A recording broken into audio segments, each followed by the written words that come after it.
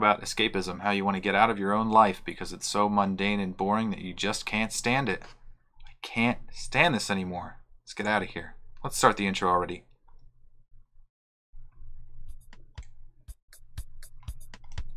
So I'm Dan. And I'm Nick, folks.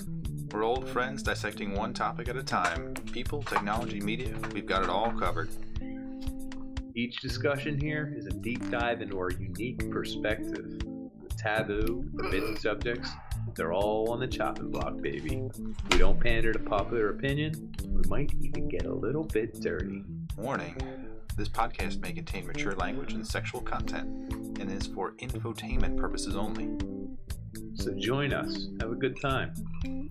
Open up your ear holes because we're going to fondle your follicles.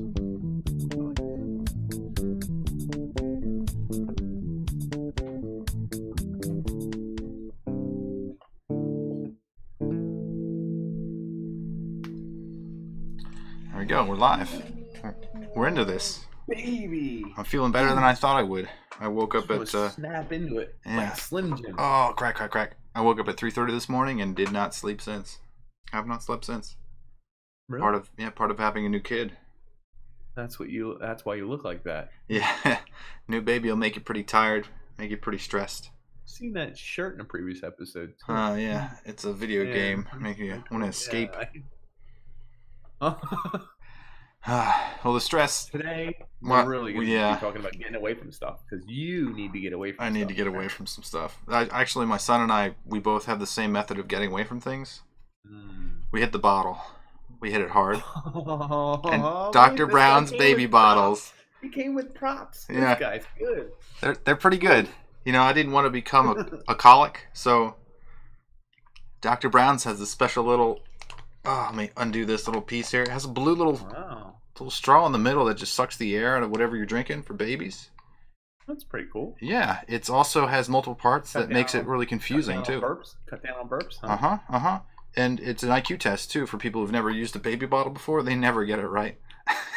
All my Have you, relatives. uh, have you been checking that bad boy for mold? You know, every extra part of a baby bottle pretty much grows mold. Yeah. Eventually. I've got a tiny little filter thing that just goes in the little pipe cleaner. It's the tiny, Yeah, little, it's the tiny little one. Gets the nip. Weird. Yeah. So, uh, Not your first nipple, right? um, no. But have you had have you tried breast milk before? Was that breast milk? Yeah. Well, I didn't have any heavy cream, so I had to substitute. Is that really breast milk? Yeah. You never Okay. tried breast milk before? I've sipped it, but not like. It's rather oily. Little Wow. Oilier owl. Mhm, Oilier, oilier owl. owl. Yeah. Oilier owl. As we say, uh, a good tongue twister will get you Mhm. started. Mm-hmm. Well, you know what they say, right? Yes, I guess you got to push the envelope, huh? Yeah. You know, if your if your wife's gushing, you make a white Russian. Because we got some excess breast milk here. You got to use it up. Damn, my man is on fire tonight. I don't even know what to say. Ooh, yeah. See that? Nice little. Oh, No. oh yeah. Get ready for That's it. not really breast milk. It's fantastic. This is good stuff, man. You It's can't, really breast milk. it? it's the most expensive drink because you can't buy breast milk. I Yes, mean, a life of indulgence right here. Oh my god, you can buy breast milk. You can buy breast milk on the black market. You can probably buy it on the not black market, can't you? I give you until next episode to buy breast milk on the black market. Quality I'm gonna buy breast milk, Breast milk on my own. Oh wait, define quality. high The fat percentage. Ooh. Yeah, the individual or their milk. I want a background check on this breast milk. I don't want some Im- uh, Uh, immature have quality. any High school Yeah. GPA. I want some numbers here. Ooh. Maybe some fitness endurance tests. You're mixing y- that bad boy up. Yeah, you gotta make sure you get the baby spoon. Oh, with the baby spoon. Damn. Yeah, I know you're missing a, a stirrer. Ooh. I don't use straws anymore. Actually.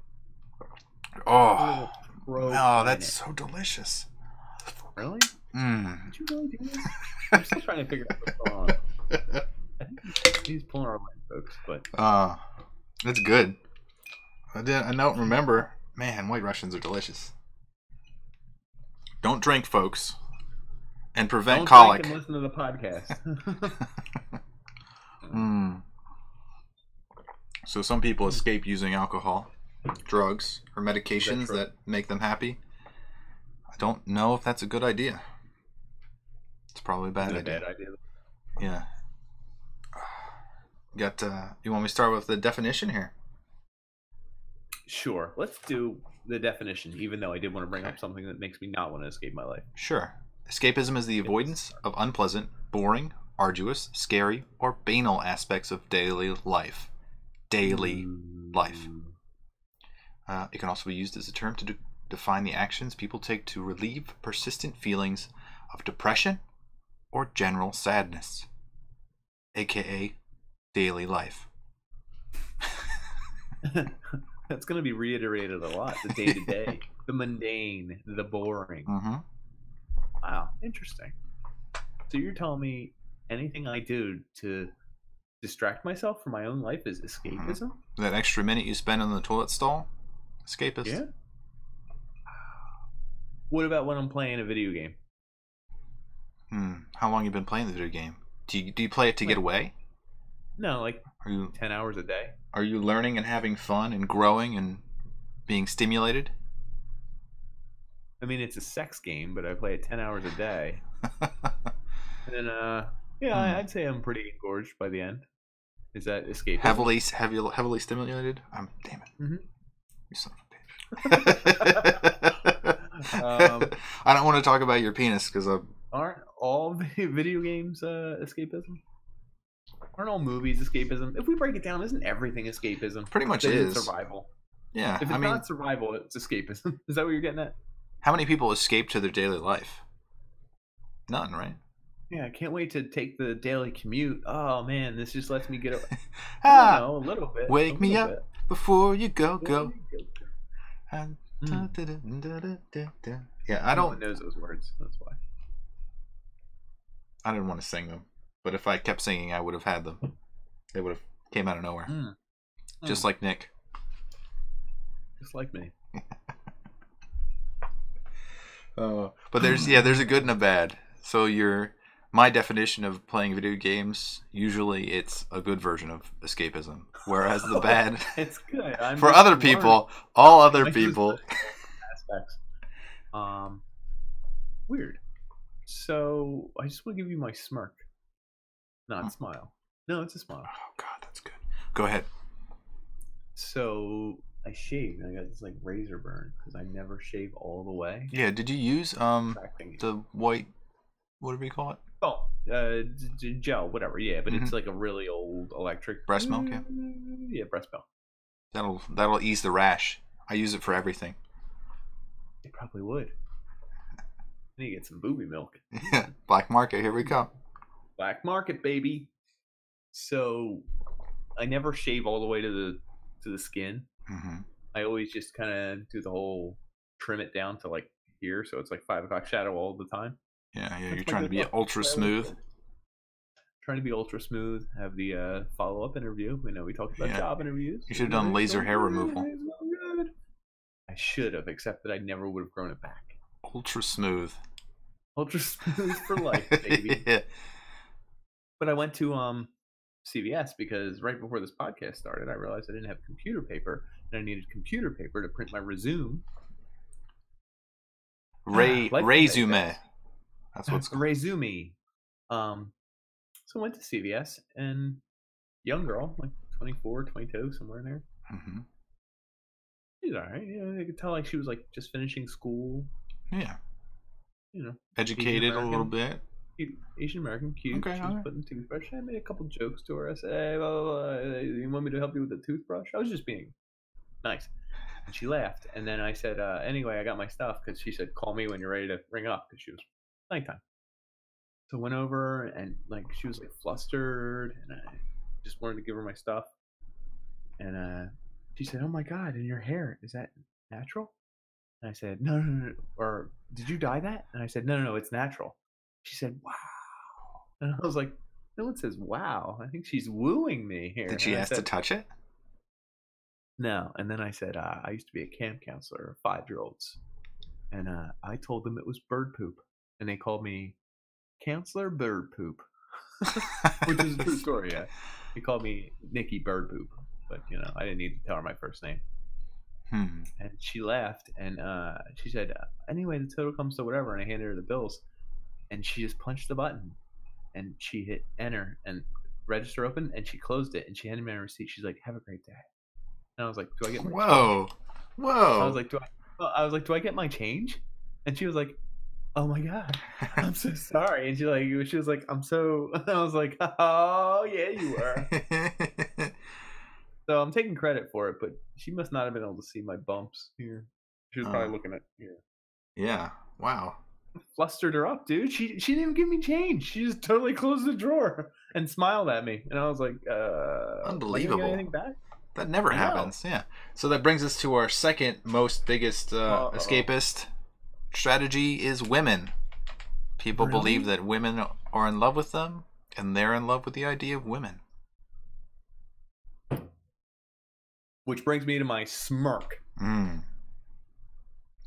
fellas, you ever been sleeping there? Minding your own business, dreaming, sleeping, doing whatever the hell it is when we're asleep. It's the breast milk, man. I know. Can't stop. And you're just I'm so addicted to it. sitting there, you're dreaming, you're doing whatever. It's like 2 a.m. and your girl wakes you up. What are you doing? And I said, I'm sleeping. Is something wrong? Yeah. Uh, you you're wiping the stuff out of your eyes. Is Mm-hmm. Something wrong? Trying to get a train of thought going. No, no, no. Anyway, she says no, and then you're back to sleep. Whatever, no big deal. So then you wake up uh, for your alarm clock. You gotta go to work. Blah blah blah. And she rolls over and she says, "Who's Moira?" And I was like, "Or Mora." And I was like, "Excuse me." She kept saying Mora, and you were pleased with her in your sleep. And I was like, I, don't even know Amora. Like I don't know. Was it Italian? Was I saying Amora? ah, and then, and then full I of said, love. "Oh, maybe it's." And then I said, "Maybe it's the Overwatch character Moira because I've been playing Overwatch." But I was Uh-huh. like, and I tried to explain this to her. I was like, "But I never pick Moira. All the girls to the right, like the attack women, I've never picked them. Like I pick Pharah, and I was trying to explain this to her like 6 a.m. I was like, I'll pick Pharah and Brigitte." But I don't pick Moira and the sniper girl and the other girl and there's another girl. I, I really never pick them. They're just, I would Hmm. never even be them. It's a waste of my time. Yeah. And she was like, who's more? and I was like, you don't get it. It's got to be wrong. Anyway, she was mad at me. And I was like, all right, see you, babe. And she was like, hmm? For a name in your sleep. But yeah, maybe a name in my sleep. I don't even know. But that reminded me of um my favorite thing of like sitcoms ever is like if like a guy and a girl are sleeping next to each other and the uh the girl's awake and the guy's smiling and he says the girl's name and she whacks him real hard Mm-hmm. and he's like, What did I do? And she's like, You know what you did. it's like, what? Another That's woman. not fair. Yeah. And you're like, wait a minute, that's not what happened here. So that's my smirk. Hmm. Women, folks. Women. Am I women. right, guys? Mm-hmm. We I'm right, to- guys. We need to talk about that in a future episode. Women. We're gonna get in trouble. Let's just do an episode where we literally get broken up with. we break up with our women at the same time. Well, we we say the worst things we could, and then like by the end of the episode, we're like, well, doesn't air for a month and a half. yeah. I've got That's three months before she breaks up to. with me. For this aired. Hmm. Hmm. Sorry, my smirk and smile are both involve women. So Yeah, it's a good escape. one of which isn't real, and one of which works at CVS, I guess. One you, yeah, I guess two you escape to, and one you escape from. I guess so. I guess How's that breast milk? Yeah, How's that breast milk? delicious. So you were Okay. sleeping. I guess that's one escape from life, but everyone needs to sleep. Natural. You Oh. can't escape. That's part of life. That's not getting out of bed is, is an escapist strategy. Ah, is it? Yeah, same with uh, Escapism sounds a lot like depression. Yeah, well, they link it together for some reason, but people like uh, who who wrote uh, children's novels? I want to say Tolstoy? Louis C.K., but that's not right. C.S. Lewis. C.S. Lewis. Somebody did. Oh, was C.S. Lewis? Yeah, Oh, like not um the other Lewis. I'm Yeah. thinking Lewis Black. No, yeah, yeah. I think Lewis. he might have actually though, but I mean, he he was making fun of the remarks that it was negative. He was saying that it, it's an imagis- uh, it's a creative expression of reality, so it's it's an essential. It kind of is. I mean, you have to imagine. That's why kids imagine. Think of all the games and things kids play with. It's all imagination. If you don't have imagination, you don't go somewhere else. You will be sucked dry of this boring, awful reality we call life, right? Yeah, I like to think that my child, he's only two, but it probably continues until they're like at least 12, that they have no idea of what reality is. So their entire existence is they do until escapism. Like, they don't until they are old enough to have a kid. Think of that. You're a child until you you have a child. I mean, not really, but think of how if you could go back in time to when you didn't have a kid, let's say five, mm-hmm. six years ago, with the knowledge and everything in your brain right now, and you did it, like you don't have a choice. You just went back and you did it, and now you don't have a kid. Responsibilities. Oh, How much free time and like just wasted Ugh. time. I'd waste so much time doing BS. nothing. Who cares? It would be awesome, wouldn't it? yeah. You could just leave the house whenever you wanted. Oh my god! You Go on whatever you. You vacation? go somewhere. You can go Oh. anywhere. You just drive somewhere and not worry about anything. How crazy is that? Until the next morning when you have to go to your job, which is the next responsibility after children. Yeah, it kind of is. It goes job, children. Well, you get the job first, and then stop clinking your breast milk thing, man. It's just You can't focus. me. I know it is. It is distracting me. Hope people see that on the stream. They're streaming, all right. Oh yeah. So have you ever seen uh, Walter Mitty, Secret Life of Walter Mitty? I have. That was actually a well done movie. Yeah, I liked it quite a bit. I didn't love the movie, but it was well done, and I liked, you know, the Yeah. whole idea of it. He's an escapist daydreamer who can't focus on reality. Yeah, yeah, yeah, Yeah, yeah. I think so. That's a good way to put it. I like that version. Just as a kid, I used to daydream all the time just to get out of the monotony. Like on the bus to school. Weird. Uh, what was your daydream on the bus? Um, it was uh, I think it was Last Action Hero where they were like Karate Kid kind of, right? Where what? I'm trying to figure out what you're Well, like the character in it, the kid was like he was doing like karate part of it, right? And I Mhm. would imagine him running beside the bus and doing karate kicks and stuff. like to nobody. To me, I was just showing off because I was on the bus to school. Oh, mine were way cooler. Oh, let's hear. When we had church back in Ransom, Oh. I'll tell you the name. I think they Jesus would come off the cross. Nah, they had the real big thing behind the tabernacle that was like 30 feet high. It hmm was like made of a. Like fall down and crush the priest. No, I imagine terrorists broke in through the skylight. Oh, that's it the best. and Yeah. would rappel down ropes, and then they, they had guns, like super machine guns, and that they would try and they would come from the exits behind us, and they Mm. would rappel down the big Jesus statue, and they would just scream at everybody to get down. And I always figured a way because with there's like 40 pews, 40 pews, and 40 pews. I would get down and crawl and find my way back to like one of the exits back there. And then I start kicking some terrorist ass one at a time. And then like maybe I get a gun. You don't get in the loft area. You start playing the Oh, organ and firing bullets. a little bit like Die Hard, I guess. Was I too young to have seen Die Hard? There's Your way I, parents wouldn't have allowed it. Hard. Mm-mm, Mm. mm-mm. Maybe I created Die Hard in my head or my heart. Maybe. Did you have the one where like water was coming from the floor and you had to find an escape? Do you, do you think about that one? Not a lot, but sometimes. Sometimes. Because you have a fear of drowning. Uh, Maybe. Or the one where like the house is no longer vertical; it's like on its side. It's like rotating. Oh, that's a cool one. That's cool. Mm, that's a good one. We used to pretend even just playing um, outside games with the other kids. hmm like The floor is lava? tag or manhunt no no no like just a game that already has rules. Like manhunt or cops and robbers or tag or any of those kind of games. That you're Like hiding, you're- like uh, yeah like in a real deep brush and you're like camouflaged in your head. Like you know what i mean? like you're Rambo, or uh, yeah a little bit. Yeah. Predator. and you're gonna i mean i killed like six kids it was my grandmom's neighbors i snapped their necks as a as a very strong six year old. Yeah, I mean, I was I was really strong, and I was in the moment when the judge uh, approached me. I said escapism. He said it's no big deal. It happens. So they let me go. Escapist. Shout out Judge Wapner. Wapner. That's way back. It's before Judge Judy, I think. She hates men. I don't know. I She does. She does. I thought she hated I don't care. life. I mean, she she also hates young people, which I kind of do too now. she hates every anyone who's not her. And idiots. That's a good point. She's old and a woman, and she hates idiots. So she's probably. I'm not saying she's she is an old woman, but she likes older people and women, and people who aren't dopes. Yes. Yes. Yes. Yes. Yo, I saw the funniest. I don't even know if it came up on the podcast.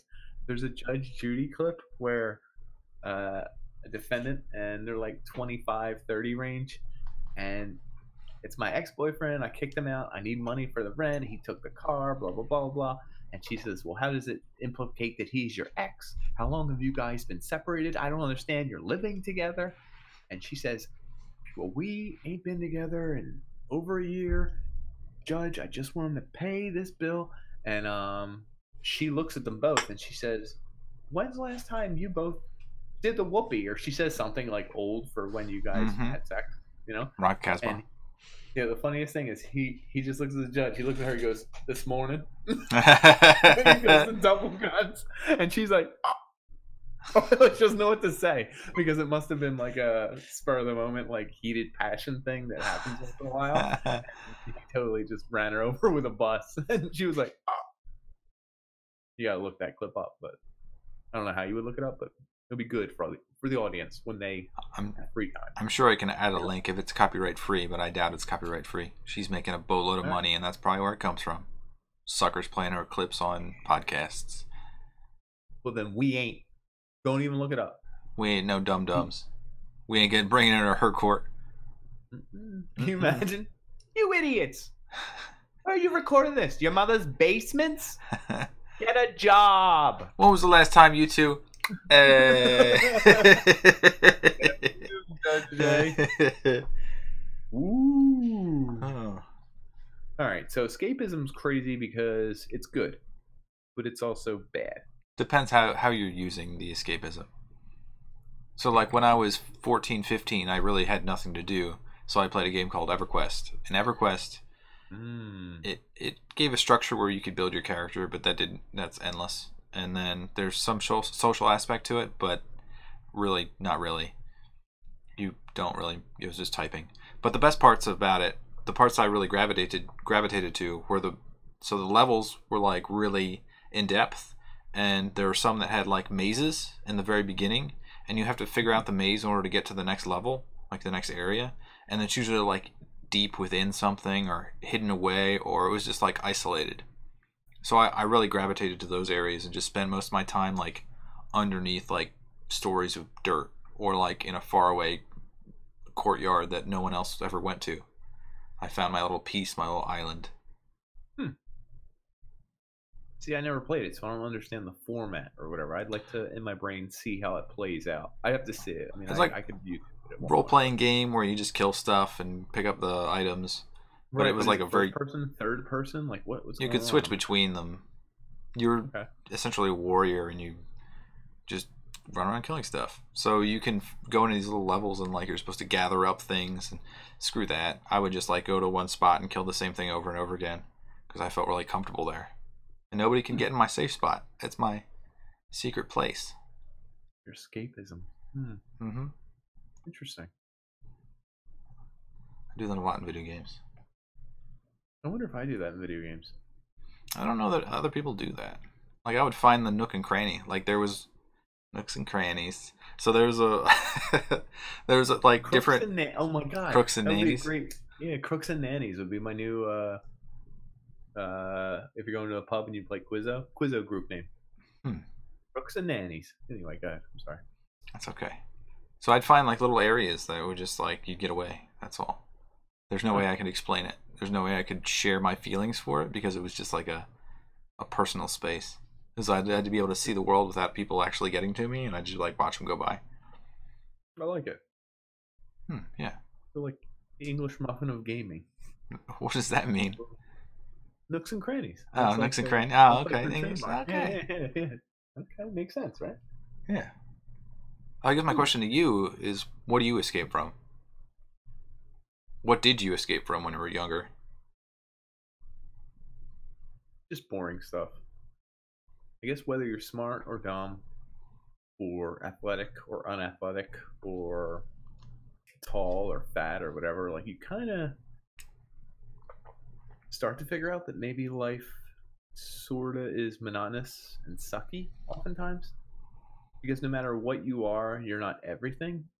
Like you can't be in the fat club, you can't be in the athletic club, you can't be cool, you can't be rich, you can't be in the, the poor kids that hate the rich kids. You can't be in every group at once. So you're you're gonna kind of be excluded. You're gonna kind of find yourself on the outside in a lot of scenarios in life. I mean, and you could agree. You could do the status quo and just join the one or two or three groups that really define you, but I find that boring too. Yeah, I guess one of my goals in life is to do everything.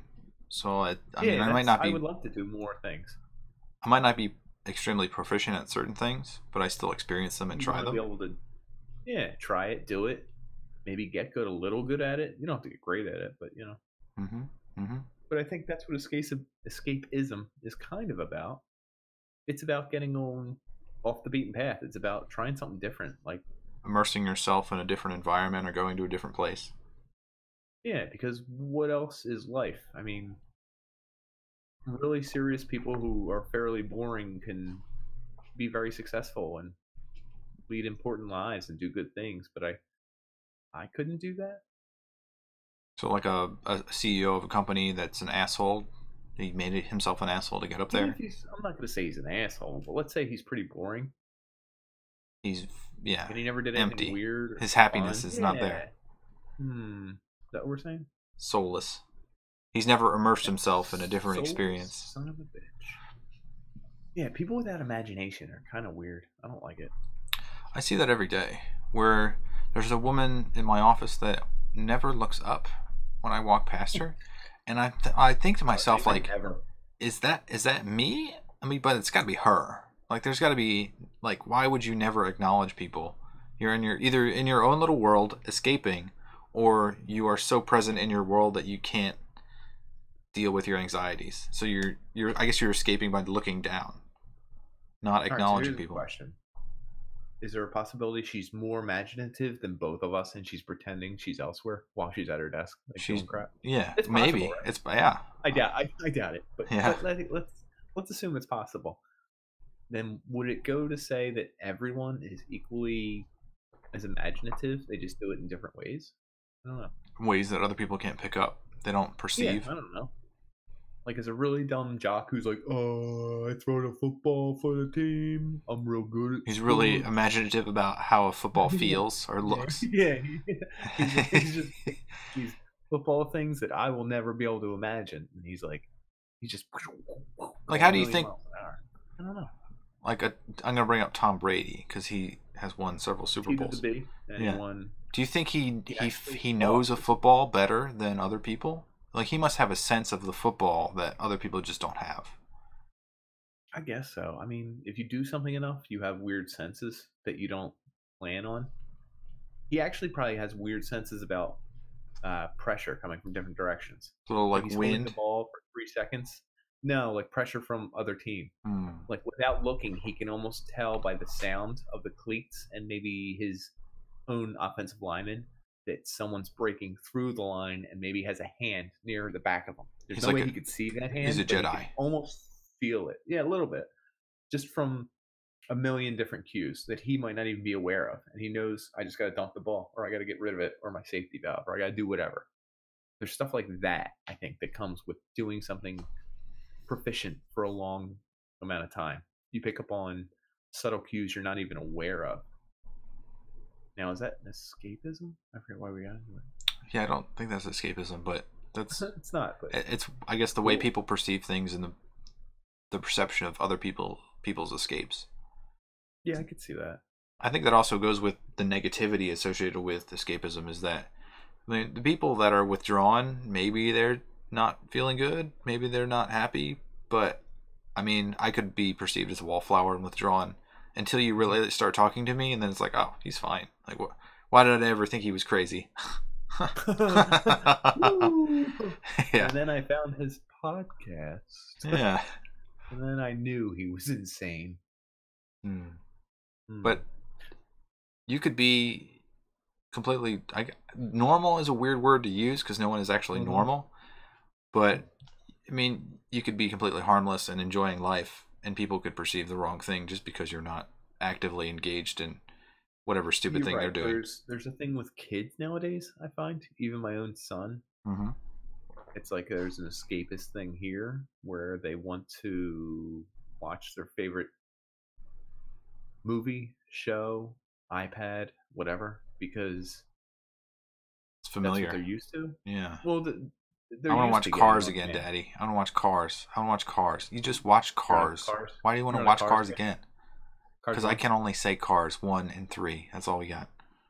Oh, you don't got two? I need to get two, Mm, please. Just for something. Lord, Just for something different. save me. different- different. Um, for the record, two was a deviation of the series, and it went off on Mater. It focuses on Mater, and it's Huh. really bad. Oh, that's but why. it's also a spy movie, but it's fun. I mean, it's just something different. I'm not watching any of them for their movie value. was I wonder if I took a picture of Lightning McQueen and just went, and I just like had it left and right with the kid by it. Nope, nope. They'd figure it out. Like Cars, and he'd be like, "Yeah, Daddy, but it's not Cars." Yeah, No, it's No. different. It's different. Shut up. But anyway, they um, when I was a kid, which is a s- an expression that sounds stupid when you say it, but when you really think about it, hmm Well, I mean, I couldn't control when was on, what was on when. Like, you know what I mean? yeah, you had to open up the TV guide. Turtles. I had to wait to figure out when the turtles were on, and then hope it wasn't just a rerun, which it was ninety percent of the time, and then like just so you, like your impulses were squashed. You couldn't. You couldn't get immediate gratification. That's what the no, word you're looking couldn't. If I if I could have, I'm sure I would have, and turned out to be a jerk or whatever. But now this generation kind of is immediately gratified. I just hit a button that starts the show up or the movie up, almost any movie they want. Right? Does that make them more likely to be escapists or less likely, since they I experience it? more because they they want to go back to it. Like if they want to watch it eight times and then like later on you're like, hey, let's go do something else, and they were like, hey, I want to do X or Y, and you're like, oh, well, we did X or Y. Why do you want to do that again? Well, because it's their favorite, and they have a choice. They think. Hmm. I mean, sometimes you have to just stop them, but Do you think you naturally burn out? So this is the video game thing: is that there are many video games that I played that were essentially endless, like Clash of Clans. So you could keep playing Clash of Clans as long as you damn well Forever. please, and you would never beat the game. You would never have a finish. The same thing with EverQuest. You probably you could never beat it. There's no ending. if Cal if Callie's watching right now, do you think he's still playing? Uh, he is still playing. No I can guarantee it. I checked last week. okay, nice. Uh, did you? Yeah. Every you? every few months. Wait, no, did I- see you? no, no. I don't join. I don't join back into that group. I don't want to get addicted to Wait, it. so how do you? Oh, you just looked at the uh, I look to see like if they have a, RO a group. li- yeah, if they have if they're rated, that means they've played recently within the last like month or something. Nice. They're all rated. That's pretty cool. Yeah. That's so funny. there's a there's a piece of it that like you you buy into the game that you're building yourself, which is really fake. If it's a facade, it's But, really for all games are fake if you want to break it down. But let's. Yeah yeah. In this Yeah. particular way, it's endless, Mhm. so it's really really facade. Diminishing returns. Yeah. You could say there's a social aspect to it, which there definitely is. There's an There enjoyable was. There- yeah, until we left. And then there's the piece where you're just doing it because it's- it's a compulsion. And the compulsion part is bit. where it's not good for you.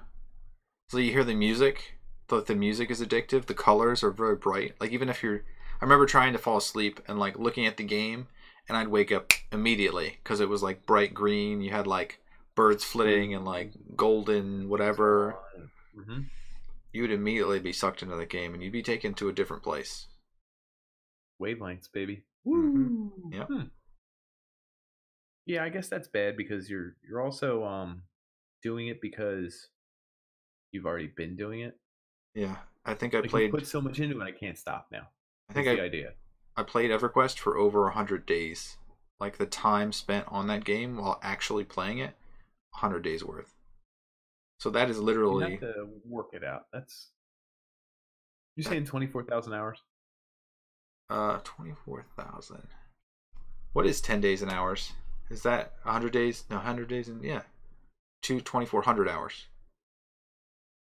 You said 100. Okay, 24. Yeah, 2400 Yeah. hours. So that's. I'm gonna do some math here. If you had four hours a day, Let's say two hours a day because that's more realistic. I'll make sure I'm not getting uh-huh. text. And Panders are live. oh great, that's good.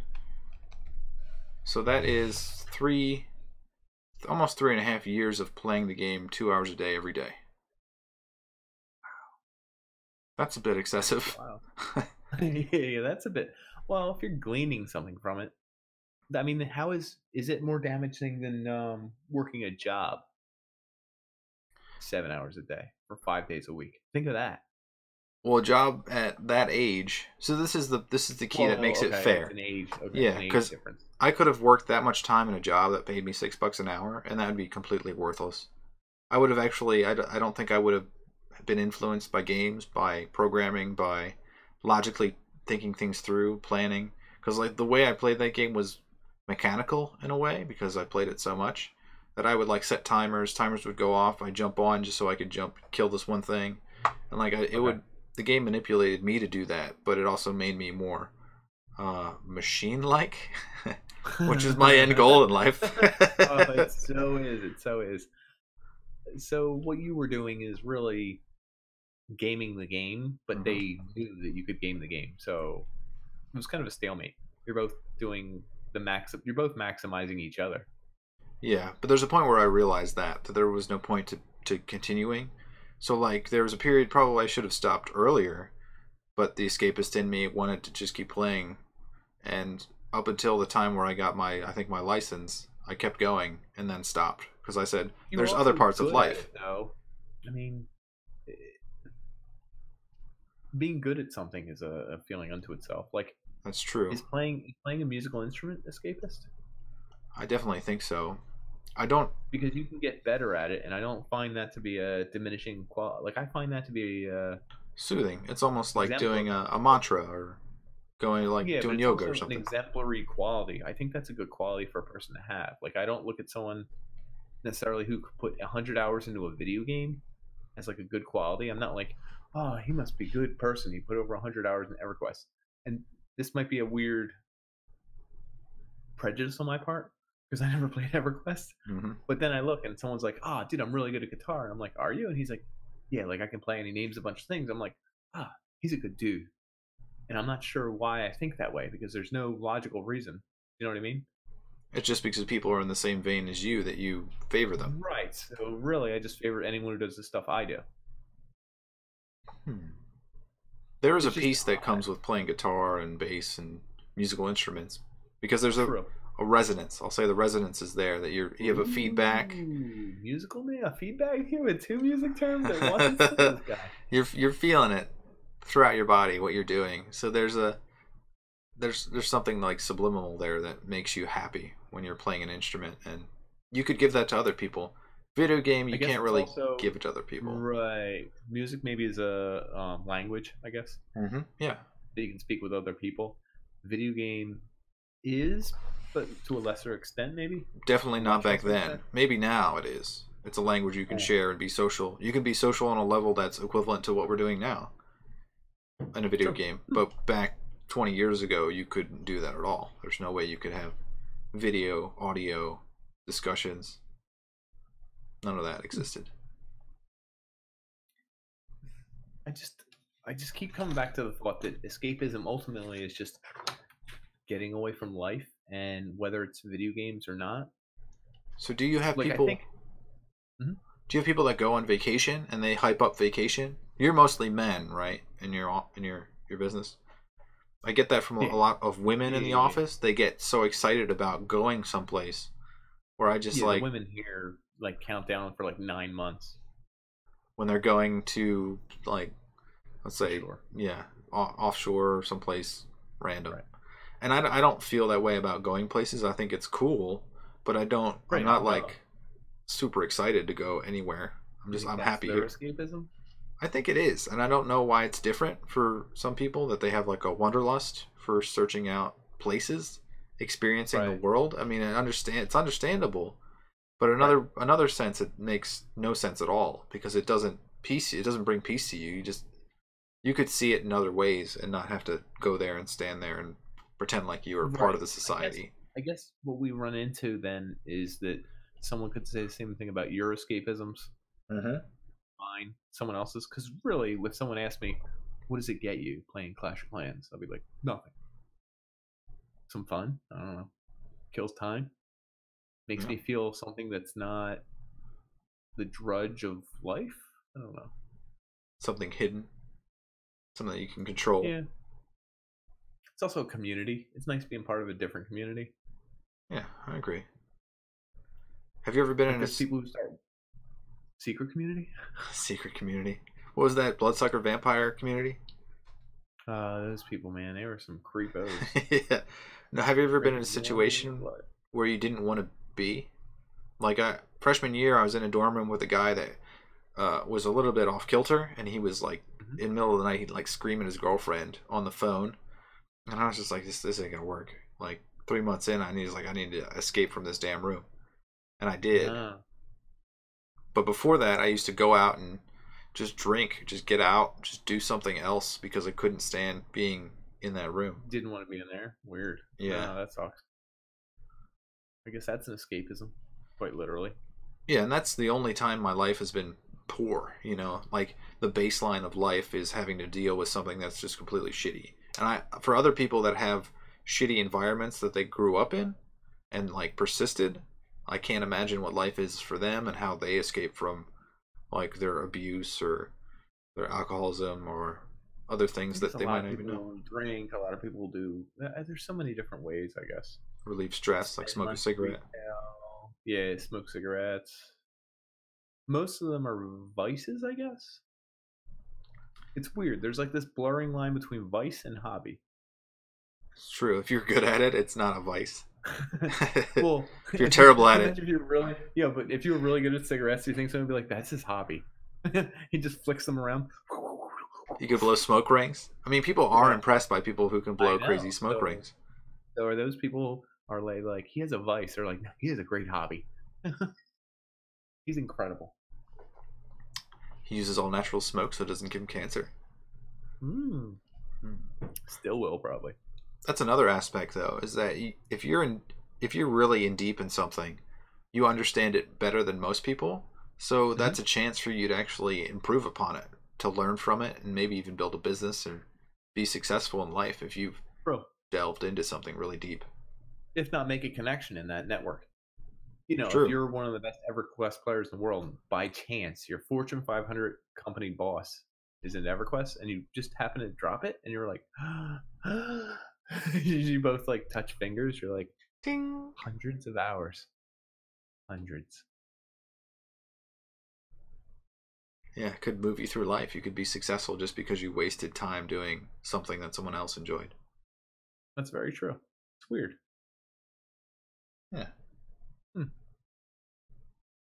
Do you think I read something that people think dreams are an escapist thing? Not like sleep. Dreams themselves. that so that when you're dreaming while you're sleeping, you're thinking of things that allow you to escape your normal life. Yeah, that was a, a theory. I don't know that I buy into it because I don't. I don't think I can control my dreams at all. I know they talk about lucid dreaming and all that. Here's another crazy thing. How does your brain know what it feels like to fly? It's, it takes every time you've jumped and just magnifies that falling feeling. Uh, it's got it's different. How about um breathing underwater or uh going through walls in a dream or uh being in two places at once or like all that stuff because you can kind of feel that in dreams. I feel like, and I don't know what baseline to base it against. So I guess I don't know if that's really how it feels, but that's interesting. Can your brain Do you think your up any?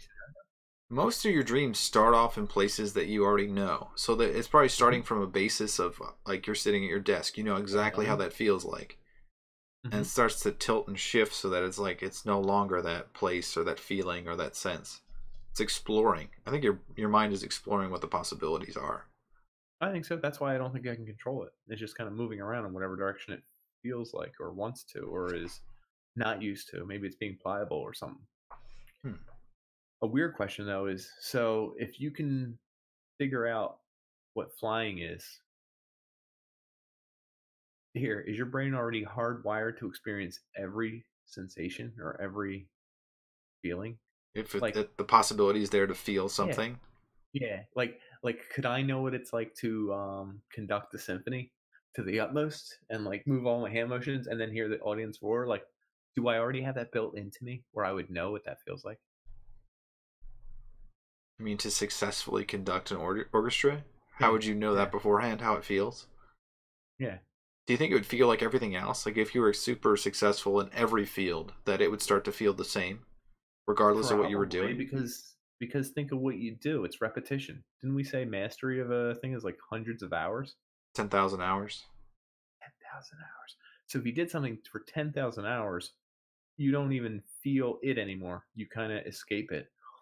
You You're do. your You're- escape. You're skipping over the parts that are boring, and then your brain can focus on the things that can make it creative and better. Hmm. I would argue it's actually focusing on the boring parts and just getting better at them.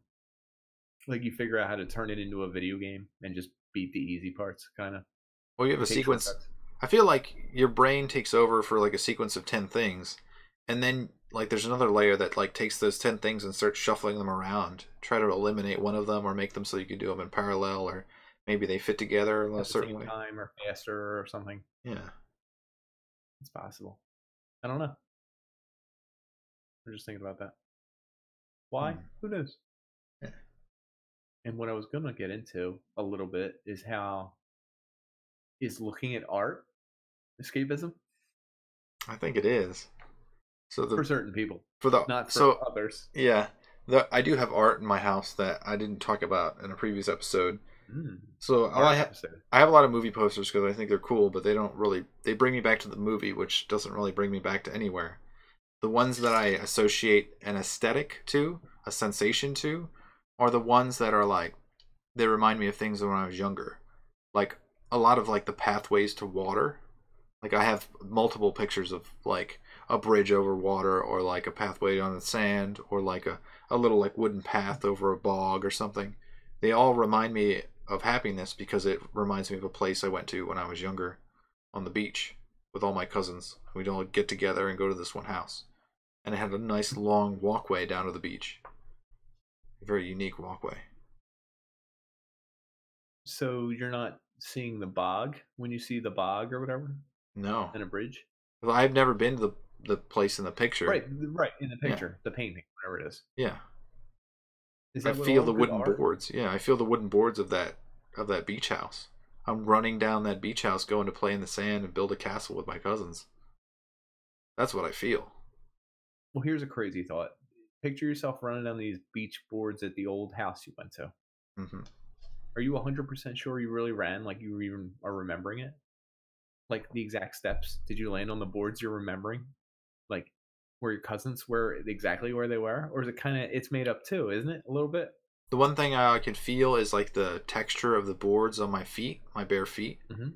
I don't know how fast I was going or who was with me, but that But texture when is you're picturing imprinted. it, you're running and you're Yeah. Well, part of that is like the Hollywood. You're laughing and giggling, and everyone's running yeah, with yeah. you, Isn't and Isn't that weird though that even your memory is a little fake? it's not all the way skewed. Yeah. But you can you can definitely remember the texture. It's like Hollywood is implanting a Mhm. way to escape in your brain, brain so that you're happy. Let's say you never saw a Hollywood movie ever. Do you think you would remember it like that? I don't know. Things would get a little blurry. Right. Would you believe so it? You would, A certain way. so you, I think you have to remember it complete. You can't remember it blurry. So your brain fills in the blanks.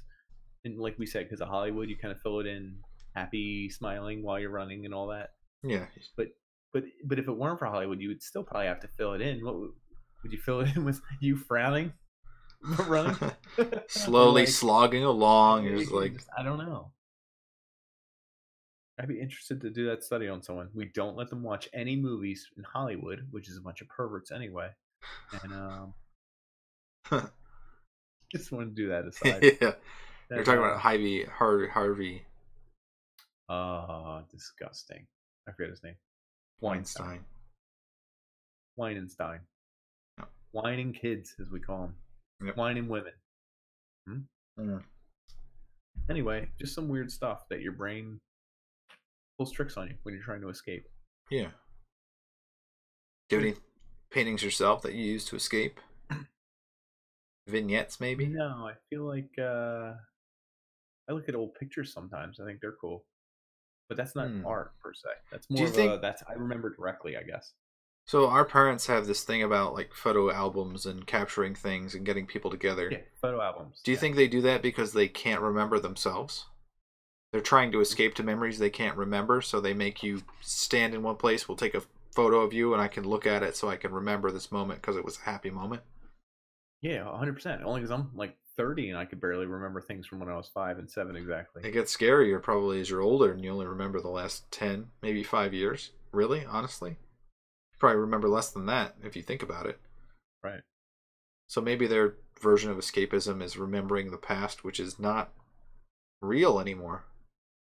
So they I don't know. make photo albums and check Facebook, Instagram. Photos are real. You can't deny a photo. You know what I mean?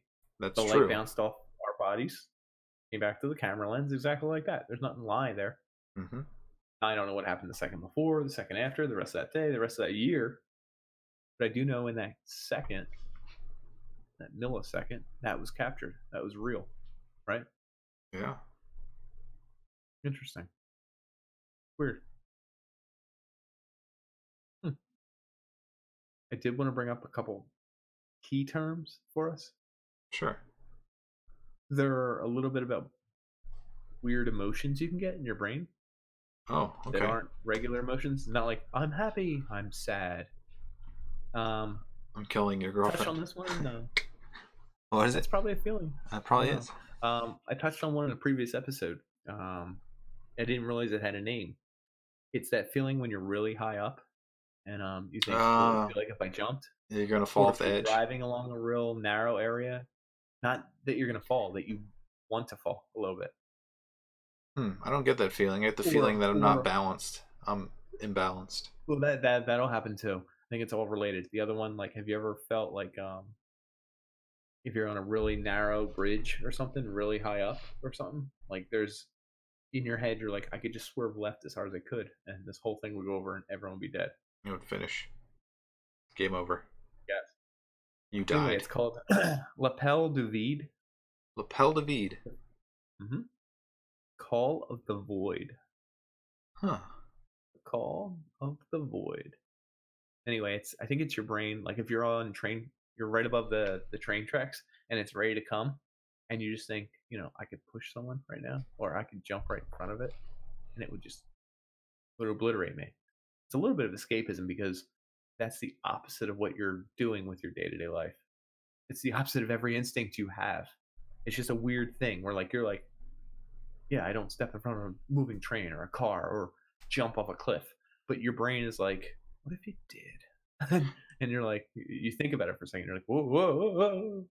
It's like one of those classic people that are trying to jump off a bridge, but when they jump, they actually grab the bridge. They're like holding on, and they their uh-huh. brain doesn't Yeah. let them. Like it, it tries Right. to, and then it's like, nope, But you can't. You can't really do this. Right. This is the Yeah, I Matrix. wouldn't be able to. hmm You're part of the Matrix. Want to hear a cool one? Yeah. Another brain feeling. It's called a wumbuk. A wumbuck. It's only only native to Papua New Guinea. Okay. They must have crazy house guests. So when your house guests come over, you have to invite them in. You have to let them use their amenities. You have to let them live their life. Sometimes they stay for one, two days, whatever. They're loud, obnoxious. It's crazy. They ruin your house. There's furniture everywhere. They trip over things. They pee on things. Like the house guests are the worst there. After 24, 48, 58, 72 hours, they leave. And there's an emptiness in your house that they have a word for a wambok. I like that Called an word. emptiness of the house. I felt this right after uh, college. The first, yeah, there you yeah, go. no, the second year of college when I spent. You're like, wow, I've Well- been trying to get these people to leave for how long, and now it's so empty. so, do you know what they do to get rid of a wumbuk? There's a They remedy. place a bowl. Oh, there is. This will work. They place a bowl of water, hot water, boiled water, right in the middle of the hut. They let it sit overnight, the night that everyone leaves, and in the morning, the whole family gets up. They take the water outside. It absorbs all that old that energy of emptiness. that doesn't and throw it into the trees. It works. Have you ever tried it? I'd take a dump right in the middle of that uh, Awumbuk water. I'm tired of your like presence. I get that feeling with my roommate in college, the second year, when everyone leaves for that that summer after you've been yeah, yeah, yeah. together for so long. I mean, there's a bond there that you don't even realize is building up Right, you hate incrementally. They're annoying. They're whatever. Yeah. But then when they're gone, you're like, You could feel that immediately when that person's gone. You're just like, "Whoa, my life Mhm. just changed," and it, it's it's powerful. my next word is ilinx. It's Il- ilinx. I Ilinx. L I N X. Ilinx. It's a strange excitement for destruction. It's like a normal organized man. He's walking by and no one's around. He kicks over a tiny recycle bin just because he wants to do it. I get this for uh, fire alarms. Oh, I always want to hit a fire alarm. Yeah, You just feel like why? Not because I don't know. It's like you're not supposed to. uh, a call of the wild, but it's not like murder someone. It's usually something trivial. Mm-hmm. Yeah. Are they really going to care if I pull a fire alarm? Um, I want to see like water gushing from the ceiling and everyone running. up. thinking it's a real fire. That's excitement right there, but it's harmless excitement for the most part, Mhm. unless people injure themselves Oh, somehow. that's great. Here's one I'm gonna pronounce right. Colco Capu. Colco Capu. No, I'm not going to try to. Colcapu. Akakapu, akakapu. Anyway, it's a feeling of homesickness for a place you've never visited. Wow, I don't They say like know that I they say like the that. Irish will get this. Why? If you were born in America, it's like a desire to visit the homeland. Like you want to go back to Ireland. Like so I'm hear those like I'm making uh I'm totally that's a different the Grapes song. of Wrath. I I don't know so. what song it was, but it's either way. It's a battle hymn. back. It's a battle hymn. Yeah, it was a battle hymn, but it was not the right one. And um like I think you feel tear in your eye. Yeah, Could be. Yeah, yeah, I think you're right. Yeah, yeah. yeah. Two by two, they sound, Yeah. they sound, Yeah, exactly. Yeah. So I'm part. Irish and part Polish. I think it would be cool to visit there, but I don't think that I. You don't, you don't have an essence. Oh, you don't feel sometimes in the air. The one thing I do know is that I'm attracted to Irish and Polish women, so I'm pretty sure I'd be happy there. Hmm. It's a weird. I guess it's That is odd. genetic. Pheromones are in That's sync. weird. I guess so. How about mm, mm, mm. Oh, pronoia, Is that like paranoia? but the opposite. You love being. You think no? You have this weird, unsettling, creeping suspicion that people are out to help you. That's the best one. Pronoia. Just these people creeping up on you, and they're like, "Some breakfast." And you're like, I made you cinnamon toast crunch. Yeah. Ah, "Ah, that new job opening is available, Steven. Come get your job opening, Steven." And it's like, I was expecting that. Thank you. yeah, yeah, yeah, exactly. Do I found Uh, some money on the ground? It's obviously not mine. Would you like it? Would you like it? It's for you. Everything's for you. Oh, thank you. That, that, thanks. I think you almost want bad things to happen to you. I guess. Weird. that's that's the word of the podcast. I think pronoia. Yeah, yeah, I could see like the dumbass being that way. He thinks Yeah, I could see everything's gonna work out, so he's like, "Oh, that's fantastic." It's like she, she died in front of me. What do you mean? He's like, "It's meant to happen. It's a, there's a reason for it. Be There's a reason. It's beautiful. And lastly, I didn't write everything down, but the the last one was called Torschluss Panik. Torschl- Torschlusspanik? That sounds like a Russian word. I think it was German. It might have been Torschluss Torschluss Panik. It's uh, life is passing you by. The sands of time are slipping away. You're very panicky. Hmm. Sometimes this will just happen at random. Midlife like crisis. you haven't done enough. Yeah, a little bit. Yeah. Except that I, I think this can happen at any point in your life. In Hmm. grains of sand. You have to go real quick. I have to.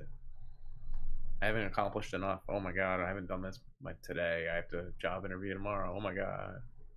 Hmm. I understand that. Do whatever.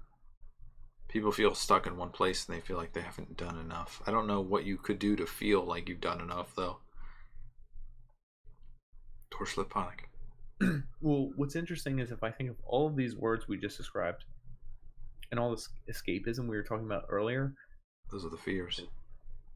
if I told you you were on a roller coaster, but the roller coaster was a straight line, it was just a damn ride, and it started here, and you were strapped in, When does it end? To here and it ended, like that would be extremely boring, extremely weird, extremely neurotic, extremely. I don't think you could live that way. You want the ups and downs to feel some meaning, some power, some Uh, purpose. you need to feedback, pretend. You resonance. need to create fears. You got to create feelings. You got to create escapes. You want to go left. I want to go right. I want to go up. I want to go down. I want to go backwards a little bit. I want to freeze time. I want to speed up. I want to slow down. But ultimately, I mean, you're still moving along that track to the end. It's, I guess it's unsettling. Do you think people create their own phobias so that they can feel that emotion? Why not? Catch 22 had Dunbar, my favorite character of all. I forget what his. I, I mean, I remember Dunbar, but I don't remember. cultivating boredom. He would just stare at the ceiling and not talk to anyone or play any card games or engage in any fun that anyone else was having at the hospital. And they asked why. And Dunbar said, I want to stay bored. And they said, Why? He said, Because when you're bored, life passes you by much, much oh, slower. I remember that. Every hour drags like a day. Every minute is an hour. Every He- this is this. He had a And philia, says- a philia of life. Yeah. He did because he was afraid if he enjoyed life, it would just pass him by. Next thing you know, he said, "Do you remember the first bra you unhooked? You were 13. Remember the first first?" And Kiss. that's the exact quote. First kiss you had. First time you uh, laid eyes on a woman. First time you you learned how to talk and walk and play sports with your little friends. You blink and it's over. You blink and you're here. You're blinking right now. We're on the verge of death. Any minute we could be dead. And I just want to sit here and be as bored as can be and let the minutes turn to hours and the hours turn to days and these days I have left turn them into friggin' months. He was reveling in the past. Weird. Who died uh, in that book, Catch Twenty Two? Joseph Wow. Heller. There was a, a guy who died uh, while he was on like a raft or something, and a plane flew too Yeah, low. that was uh The whole the whole theme was that the guy was happy and excited. He was cheering on the plane as it came. bloody hips Yeah, was the phrase. he got whacked by the propeller as it was like three feet off the ground. Sliced him in half. Kid Sampson. Believe Yes. cut in half. Yeah, by, yeah. Uh Doc Daneeka. It's a two name We'll have to do a correction for the episode. Yeah. But anyway, do you know what he did after he looked back and realized he cut Kid Sampson in half? No, I don't remember the part. He turned back towards the nearest mountain, said, he didn't say it, but everyone could hear him say it in the way he drove his plane. The way his plane drove, it said, Oh well, what the hell? And he drove into the mountain, just killed himself. Huh. Crazy, right? Because of the accident? Because he Yeah, he was going to get busted, dude. He wasn't supposed to drive that low and that close to the civilians while they were having fun. Hmm. So it was 100% his fault. Because it was just a joyride, right? Yep. It was an escape. Doing the old Maverick and Goose, pulling down. Uh, Yeah. do we have permission? Bye bye. So that brings That's a me negative to Ghost Rider. that brings me to retirement. Some people use retirement as an Oh. escape, and they live with a life that's how many years? You know, 20 to 63, 40, 43 or more years of maybe bullshit to retire in a life that, you know, once you're 63, you're not who you were when you were True. 30 or 20 or even 40. So, like people buy into that because I don't know why. Well, Why why don't you you? that they can't do something for 40 years because it would make them go crazy? I'm thinking that the vision that they have in their heads of what they will do when they retire is Oh, completely different, than, what, what they can 20 do. years down that road. Right. yeah. Right. We're gonna travel the world and sell gypsies butter from a can. I'm Gonna turn that can into butter. Yep. I don't know. Weird. So that's Like a that's an escapist mentality though. If you're if you really don't like your job but you're set 30 years, so I'm just gonna retire and be happy doing this thing. That thing is Like probably not gonna make you happy. Yeah, if you go to yeah, if you go to an an island resort or go cruising. Like you think, Right, that's away from everybody. That would be a weird thing to do. yeah. So really, the the goal should be to enjoy right now, which is what European countries do. They enjoy the people that are near them, and they don't think about retirement as much. Or So is that an American issue? I have no idea. I really have nothing to do with retirement. know. I'm not. in America, we sell a ton of dreams. We try to sell as many dreams and fears as possible. I think. Hmm. It's a good way to put it. I never thought of it like that. I wouldn't disagree with it at all. Yeah. Hmm. So there's one more form of escapism that we haven't talked about yet. What virtual virtual reality. Ah, Ah. I think it's getting bigger. I don't think it's really there yet, is it? yeah, I don't think it's quite there. I did watch Ready Player One, which has like an Oh, entire was it? I world. I kind of liked it. There are parts that Mm-hmm. didn't like. There's a, a level that's probably meant for people who are like 30 to 40. There's a level that's meant for like maybe kids, but it switches back and forth, which makes it kind of awkward. Plus, it's illogical because all these people are plugged into some virtual world and they're like running around in the real world. Like they're not going to collide or hurt each other or just say we're done with this. So there is like Second Life, which is kind of like Ready Player One. Second Life is a real Yeah. game where you can enter in and buy digital items and live life in a digital world. Do they have sex in that game? I mean, they probably. we are having sex right now Oh, as I type. Okay. I will stick my bribber in you and uh, some housewife action in there. some lonely housewife action. Oh yeah. Hmm, I don't know. I could see people living life in that second life and feeling like it's more real than their first life. I could see a because lot they of have that. more power almost because they have more decision. They're richer in this life in a way. I don't think you can get hurt in the second life, so there's only positives.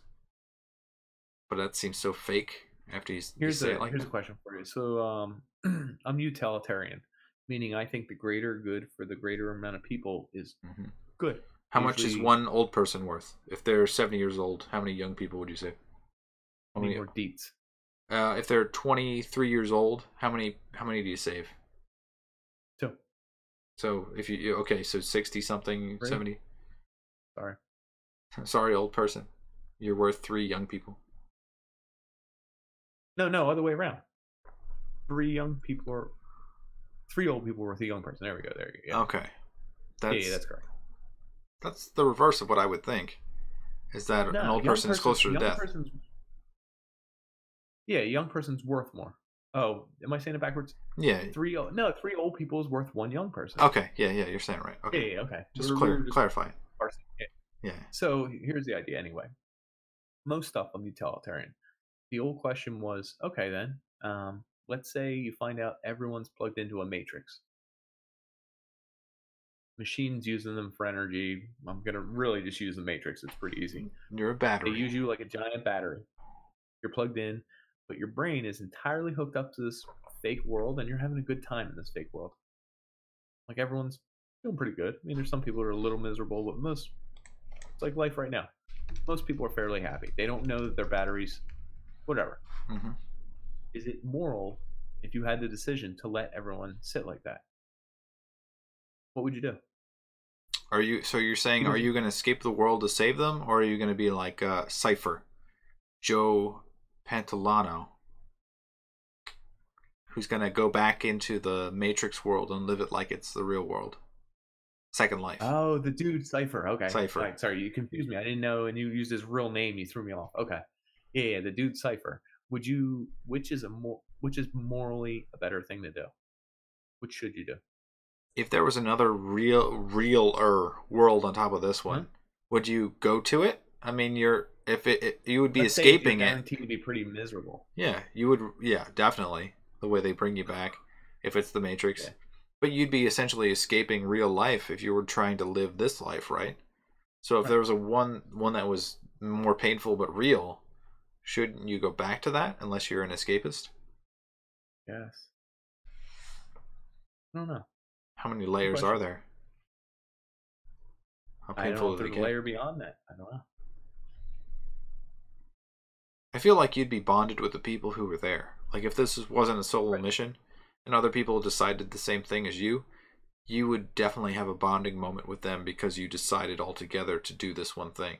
You'd be a, True. a binding force. Which I think would make you happy in a really weird way. so. Right. There's something about the struggle. Mm-hmm. So a person's happiness isn't necessarily their joy. Am I using the right term? Their bliss isn't their happiness or their. I want to separate The excitement, fake and happiness kinda? entertained. Yeah. Right. There's an excitement, entertainment is not the same as happiness. We could do a whole episode on that, but just Yeah. true happiness. Is There's like a subtle happiness that you can't take away from people. There's a, a joy Right. that's like inside of them that will never die. That's that's mm. happiness.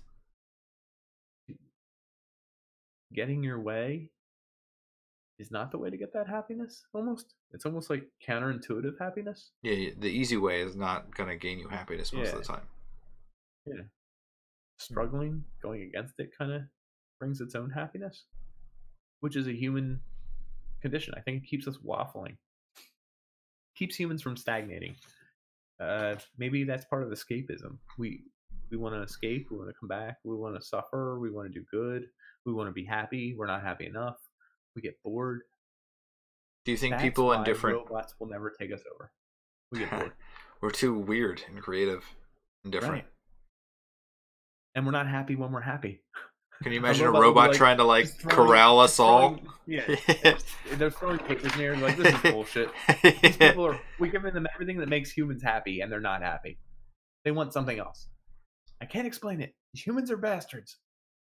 So do you think people in first world countries escape more or less than people in like third world countries? Where like the I conditions think- are horrible. I Think more, but So I don't know. the third world countries people they escape more No, I than think the the fir- first world, because they're bored escape because more. they have more time to escape. and because they have more escapes. They're aware Like, of the not like possibilities. VR. No, no, like they have more escapes. Like That's true. you go to a third world country, they don't have VR, they don't have a movie at every corner, they don't have Netflix, they don't have like eight TVs in their house, they don't have a cell phone that has 400 games. Like they don't have any of that.